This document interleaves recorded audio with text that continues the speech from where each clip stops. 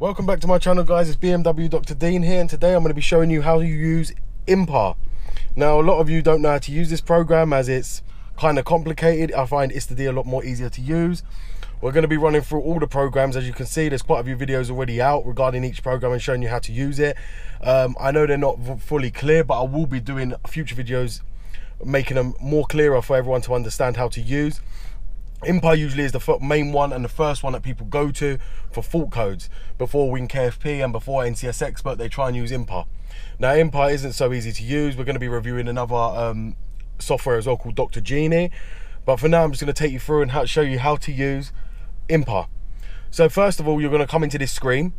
The first screen you're going to want to go to is whatever your car is down here. Now, if your car ain't listed here, you're going to want to press, as you can see my fingers, Shift for older models and F8. Now, when it brings it up, it's going to bring down all the other old models for the car here. Now, when it does, you just select your car. So if you've got an E31, an E34, an E36, E39, then you'll click engine to read the fault codes.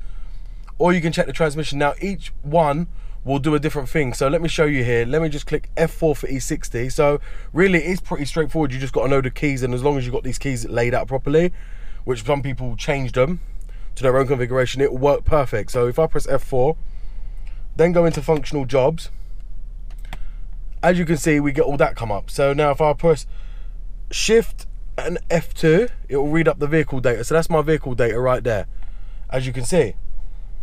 So now if I go back to info, or if I press end on that one, so I press F10, it will go back to the car screen. We don't want to have to do that all the time, but you have to when reading that kind of information on the car.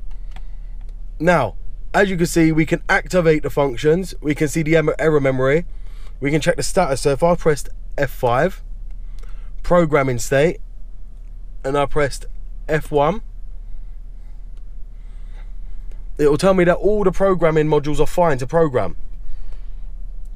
So as you can see, only the PDC isn't, and that's because I changed the PDC module because it was playing up, common problem, and I haven't coded the right VIN number to that. That's why it's showing as that. And the same for the ZBE. I changed that module and I've never changed the VIN on it. Again, it doesn't do nothing to the car, that's why.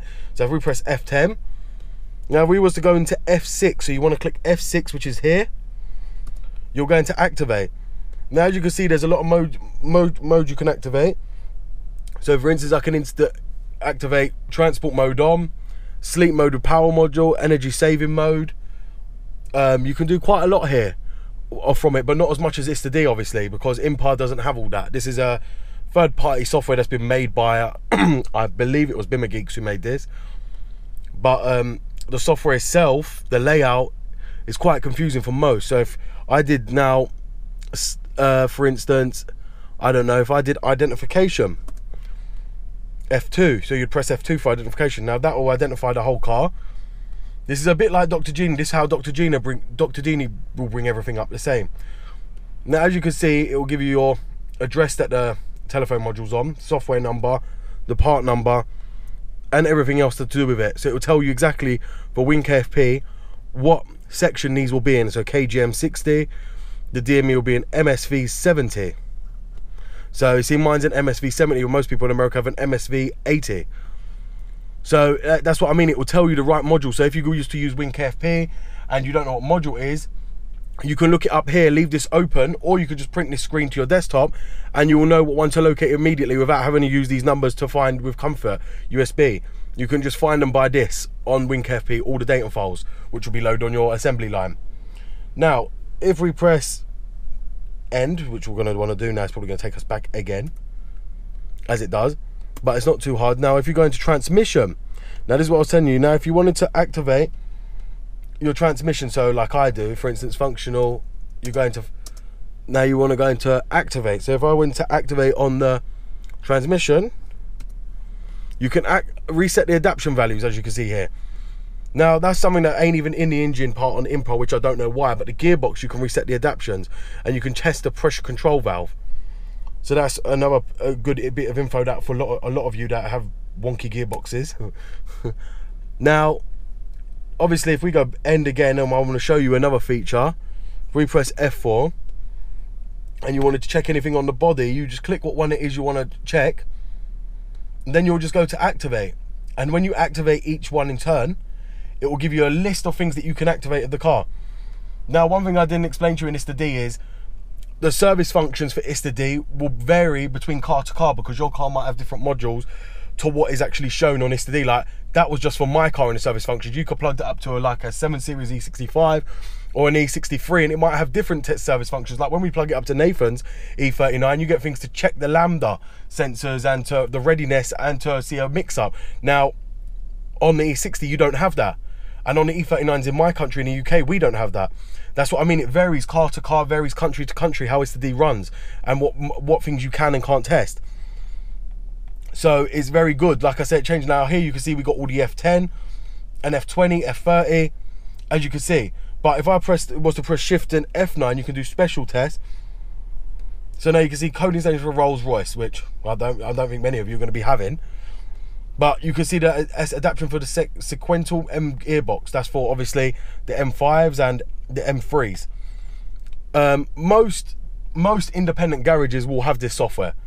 This one only. ISTA-D. They're not allowed to use most garages in the UK because they have to have everything licensed. Most of them will have a snap-on scanner with all the licenses from every every manufacturer to be able to do the software updates and to be able to program. Or they'll have, I can't remember the other machine, it's like a Blues machine where they pay a load of licenses for a whole year and they can do everything the same as what this can do. But they're not allowed to use this software because it's classed as copyright. Um, and they have to pay certain licenses. So you think how much money they pay? I think they pay I think it's around 40,000 a year for all the licenses for all manufacturers to have the software updates available and have their system updated. But like I say, most garages may may have this depending on how, but then again saying that they won't use this because if they if they was to mesh your car up with WinKFP, which is very risky where their system is very straight laid out, they will be basically screwed. They'll have to replace your whole modules in your car, so that's why they choose not to use that. But for the basic home person, like here for instance, um, MSV 70. So if I click that, now I'm going to show you. Now, as you can see, it's all in German. So you want to go to status analog digital adaptation. So if I click F8, which is here, now you can see lambda adaptation. That's the engine adaptation, the Valvetronic adaptation, Vanos, the variable Valvetronic motor adaptation, sorry, the Vanos adaptation.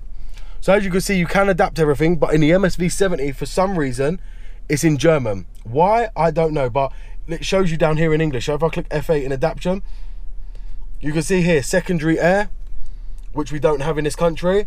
Lambda, intake tube, DK, which is, I believe, I'm not too sure what that one is. Octan, Variant, Vanos. So all these are in German and they're not very laid out. But obviously, if you click, let's go back to system.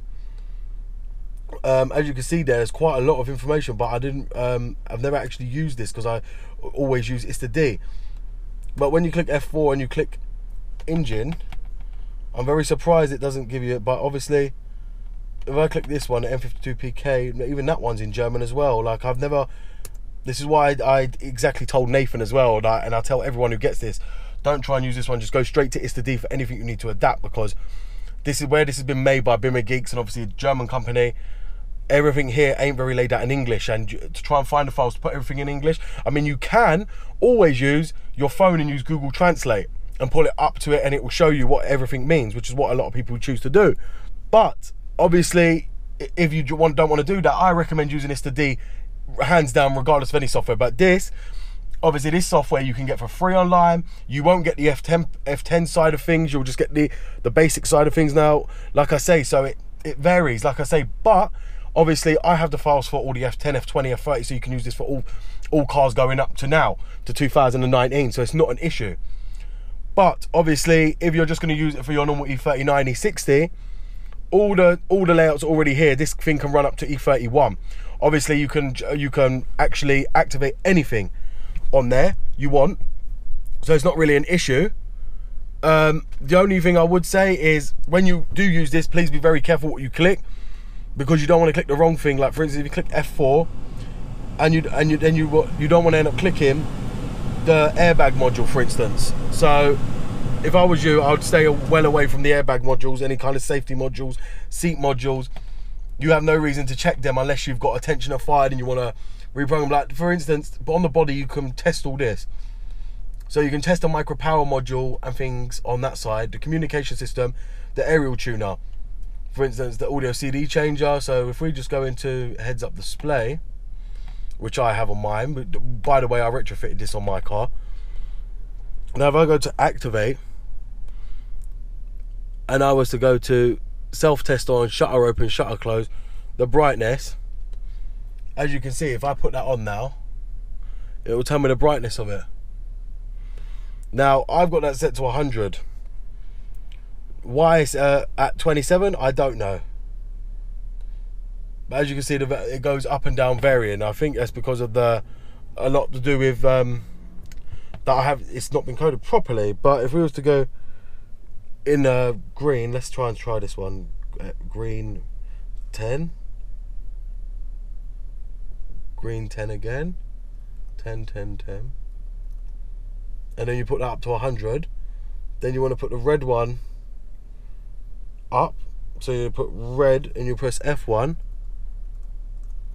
there you go so now my HUD is now fully bright now if I go back to brightness you should see it should stay the same there you go so again you can adapt that for that now as you can see I don't know if you can see up there you can see my heads up display is perfectly working and now fully bright. Now if I go back to here and I can reset the HUD, which we don't want to end up doing that, but we can test. Let's turn the HUD off as it said. And then we put F1 for brightness. As you can see, it still stayed the same. So there you go. There's another thing that I've just learnt myself. so you can do the shutter open and shutter close which I think we can try and do now. Let's try and do the shutter open or shutter close.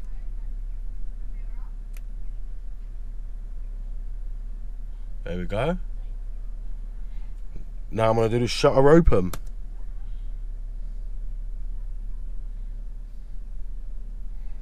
Let's see. Shutter open. There we go. And it's just come back on. So, as you can see, you can do a lot in this and I'm pretty shocked that it even allows you to do my heads up display considering I retrofitted that myself but as I say you see it gives you the part number up there as well which is good and it will tell you the date of manufacture and everything else on the, my car there is to know now if we go end and obviously we click E60 again the good thing is with this, it will bring up every car. Now, if you get any problems with ignition on or battery, always check your device manager on your comport settings because it will always be linked to that and your EDIABAS INI. It will always be linked to that. As you can see, I don't have sunroof on this car, so I don't know why that's in it, but it will give you every single thing that's on the car. The good thing is this software is readily available on the market. Um, like I say, if you need the link, I might put the link in the description below if I can find it again. Um, we're going to be doing a review of Dr. Genie, which you can see right here as well. Um, that software is is very hard to get hold of because the person that made it and used to activate is no longer around.